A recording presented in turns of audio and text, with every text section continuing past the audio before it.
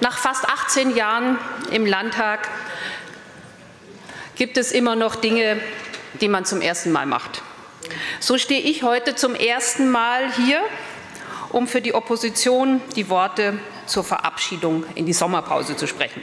Ich bedanke mich sehr herzlich bei Markus Rindersbacher und den Kolleginnen und Kollegen der SPD-Fraktion, die mir die Gelegenheit geben, an dieser Stelle vor dem Plenum zu reden. Der Grund dafür ist eine besondere Situation, denn es ist wahrscheinlich meine letzte Rede hier in diesem Bayerischen Landtag. Ich höre das Bedauern. Dankeschön.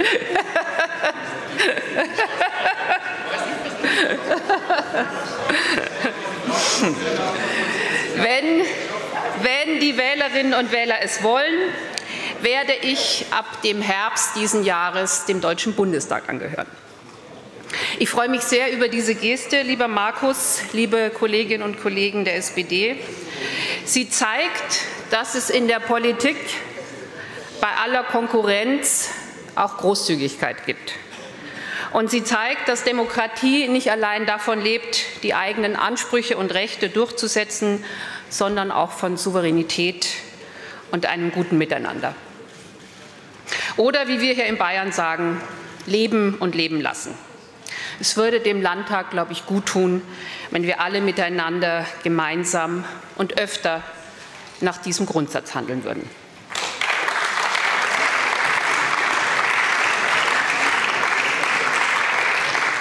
Zum Abschied gehört als erstes der Dank. Der Dank an die Mitarbeiterinnen und Mitarbeiter des Landtagsamtes in all seinen vielen Abteilungen für ihre stete Hilfsbereitschaft, für ihre Zuverlässigkeit und für ihre große Einsatzbereitschaft. Danke an die Polizistinnen und Polizisten und an die Mitarbeiterinnen und Mitarbeiter der Pforte dafür, dass sie immer für unsere Sicherheit da sind.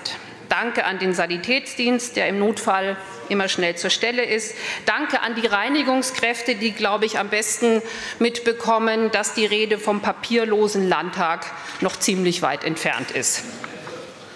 Danke an die Mitarbeiterinnen und Mitarbeiter in den Ministerien und in den Fraktionen und danke an die Vertreterinnen und Vertreter der Medien, die uns hier auf die Finger schauen, die berichten, die kommentieren, die kritisieren und die kontrollieren.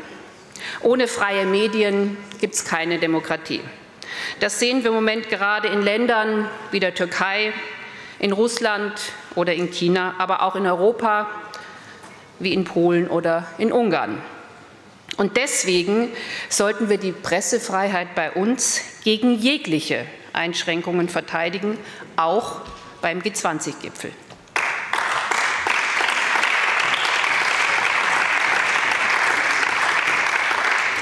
Und wir sollten sie bei internationalen Gesprächen, etwa mit Putin oder Orban, immer wieder deutlich einfordern.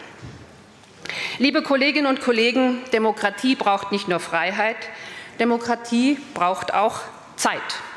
Informationen, Gespräche, Bürgerbeteiligung, Austausch von Argumenten und Meinungen, das Finden von Kompromissen, Widerspruch, Rechtsmittel, Gerichtsentscheidungen, all das braucht Zeit und das ist auch gut so. Aber wir sollten die Zeit auch nutzen. Immerhin ist sie kostbar und wir alle haben zu wenig davon. Manchmal habe ich mich in den zurückliegenden Jahren gefragt, ob wir uns die eine oder andere Zeitschleife nicht besser hätten sparen können.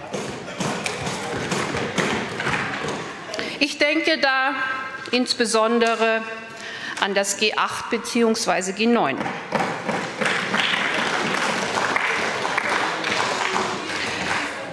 14 Jahre nach der Einführung des G8 schaffen wir es in diesen Tagen wieder ab und geben den Schülerinnen und Schülern mehr Zeit zum Lernen. 14 Jahre Reform, Nachbesserungen der Reform, Nachbesserungen der Nachbesserungen, Reform der Nachbesserung und Reform der Reform. Ich bin mir sicher, Sie widersprechen mir nicht oder vielleicht allenfalls kaum bei manchen Kolleginnen und Kollegen. Wir hätten diese Zeit viel sinnvoller nutzen können. Oder der Bau der Stromleitungen. Erst ja, dann nein, dann doch wieder ja. Auch hier sind wir nicht gerade sorgsam mit unserer aller Zeit umgegangen. Oder der Atomausstieg. 30 Jahre heftiger politischer Streit, dann Ausstieg unter Rot-Grün, dann Wiedereinstieg unter Schwarz-Gelb, dann Fukushima, dann Ausstieg mit allen. Auch diese Zeit hätten wir alle miteinander sinnvoller nutzen können. Mir fällt in diesem Zusammenhang der Begriff des rasenden Stillstands ein. Es wird etwas reformiert und als Erfolg gefeiert, dann wird die Reform zurückgedreht, das wird dann auch als Erfolg gefeiert, und zwar von den gleichen. Liebe Kolleginnen und Kollegen, natürlich hat sich auch viel geändert. Unser Land ist heute nicht mehr dasselbe wie vor 30 Jahren, als ich zum ersten Mal im Landtag war, war wie vor 20 oder 10 Jahren. Damals mussten sich Frauen noch rechtfertigen, wenn sie Karriere machen wollten. Heute müssen sich Unternehmen, Institutionen und Parteien rechtfertigen, wenn Frauen bei ihnen keine Karriere machen können.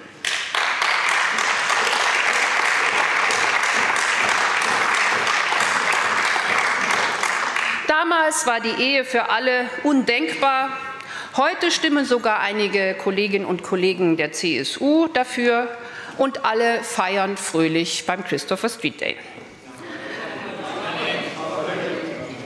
Nicht alle, okay. Sogar Kolleginnen und Kollegen der CSU in München. Damals war die Ganztagsschule noch als Zwangstagsschule verhöhnt. Und heute setzen sich alle für eine Ganztagsgarantie ein. Ich bin dankbar, dass ich ein Stück weit zu diesen Veränderungen beitragen durfte.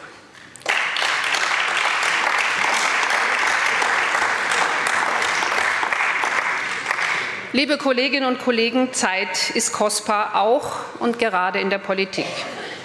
Und doch tun wir oft so, als hätten wir unendlich viel davon und als hätte es keine Folgen wenn wir nicht rechtzeitig handeln. Das gilt insbesondere beim Schutz unseres Klimas, beim Schutz unserer Lebensgrundlagen. Letzte Woche hat das Magazin der Süddeutschen Zeitung einen unbedingt lesenswerten Text dazu veröffentlicht. Unter der Überschrift Urlaub war uns wichtiger als eure Zukunft, sorry, schreibt der Autor einen vorweggenommenen Entschuldigungsbrief an unsere Kinder. Ich möchte gern zitieren. Liebe künftige Generationen, sorry, das mit der schmelzenden Arktis, das mit dem abgeholzten Regenwald, das mit den leergefischten Meeren, das waren wir. Wir haben euren Planeten ausgebeutet, eure Natur kaputt gemacht, euer Klima auf Jahrhunderte hinaus geschädigt. Unsere Wissenschaftler hatten uns zwar seit Jahrzehnten gewarnt, in immer eindringlicheren, verzweifelteren Worten, aber wir haben es nicht ernst genommen, nicht ernst genug. Liebe Kolleginnen und Kollegen, es gibt Herausforderungen, die nicht darauf warten, wie schnell wir alle miteinander zu unseren Einsichten gelangen. Die rasanten Veränderungen unseres Klimas die Überhitzung der Erdatmosphäre ist so ein Thema. Und nicht nur eines unter vielen. Es ist schlicht eine Frage des Überlebens.